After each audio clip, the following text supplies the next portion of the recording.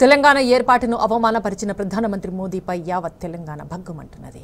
మోదీ దురహంకారంపై విద్యార్థి లోకం మండిపడుతున్నది. బషీర్బాగ్లో టీఆర్ఎస్వి ఆందోళనకు దిగింది. మోదీ దిష్టిబొమ్మను తగులబెట్టి నిరసన వ్యక్తం చేశారు.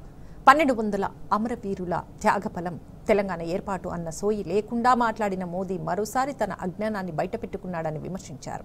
మోదీ మాటలపై రాష్ట్ర బీజేపీ నేతలు ఏం సమాధానం చెప్తారని ప్రశ్నించారు.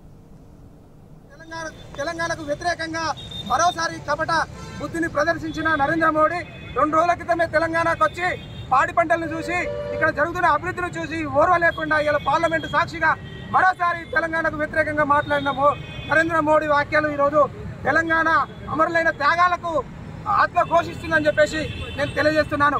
కాంగ్రెస్ ప్రభుత్వం తెలంగాణ ఇచ్చి ఉమ్మడి ఆంధ్రప్రదేశ్ను అన్యాయం చేసిందని చెప్పేసి ఆయన మాటలు విడ్డూరంగా ఉన్నాయి. నరేంద్ర మోడీ పార్లమెంటు సాక్షిగా రాజ్యసభలో ఈ వ్యాఖ్యల్ని మేము తీవ్రంగా ఖండిస్తున్నాం.